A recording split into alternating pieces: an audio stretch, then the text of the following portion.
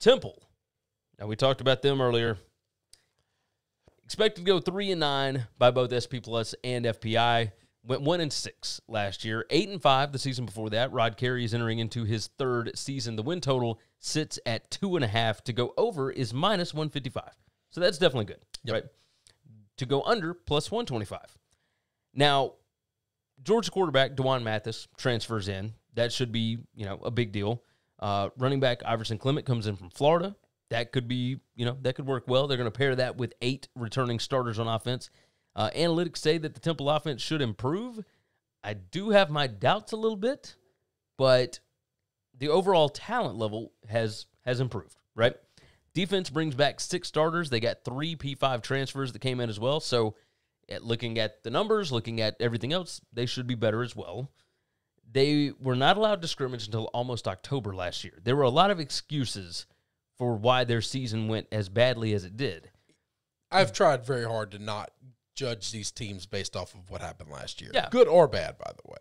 Um, but I will, I will tell you this: they, you know, yes, they were on like their fifth string quarterback by the end of the season. They had to deal with a bunch of injuries. They had all kind of problems. Da da da da.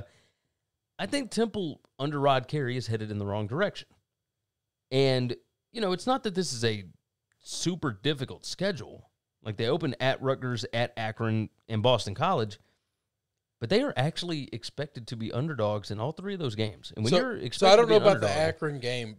I definitely think Rutgers and BC are or on the on the significantly- come up, yeah. significantly better in their phase of their rebuild or whatever. And I think personally, significantly better coached. Yes. And that therein lies the problem of of of that start. They got a coin flip game against Navy. You know, I mean, that's it. Like, I don't it. I don't know how to get them to three wins. like they they might like the the most difficult games are at home. That's their right. their winnable games are on the road this year, and right. that is a bit of a problem. Uh, they've got Wagner, they've got Akron, they've got Navy and East Carolina. Um, you know, there's spots here maybe where they could get you know to three or That's even right. Oh four. no, yeah, they could. They I've- could. I've got 'em but they got to win all the coin flips, Yeah. and they got to beat the teams they're supposed to beat.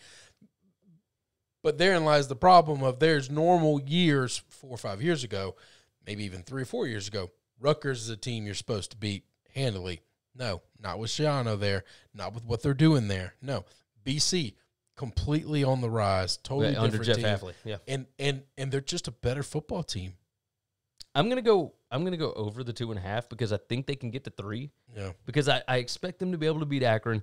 I expect them to be able to uh, beat Wagner. those are the only And- two wins that I think and, I feel but, good but I about. but I got to get one more. Like But I got- all I got to do is get one more. That's right. And I've got coin flips for East Carolina and I got coin flips for Navy. Yeah. So if you go one and one in those games, that gets you to three. Gets you to three. The problem is is when you're only flipping the coin twice, it's it's it's not uncommon for it to go heads heads. You're you're right about that. So are you going under? I I would go under just to get the positive juice because I think I'm flipping a coin. Yeah. And I don't want to lay 150. I don't want to lay a buck 50 on a coin flip. That makes When I could when I could get plus 125 on the same coin flip. That's true. That's that's it's strictly a math play and I don't think this team's good right now. I I tend to agree. I hope I'm wrong because I like Temple, and you know that. I, Oh, yeah. I've always liked them. And uh, We especially like them under Rhule and under Geoff Collins. well, yeah, but it's But- impossible to. Ju- I'm not judging. I'm not judging this man as a coach based on what I've seen so far because when you're a coach, one it's same thing. You'd be a fool for ju- judging Dana for the same thing. You Yeah. can't judge him. Yeah, no, that's entirely true. Entirely true. Thanks for listening to the Winning Cures Everything podcast. The website is winningcureseverything.com, and if you want to connect with us, we're on Twitter at Gary WCE, at Chris B. Giannini, at Winning Cures, or you can email us, Gary at winningcureseverything.com or Chris at winningcureseverything.com. Subscribe everywhere you need to subscribe, and we'll see you soon.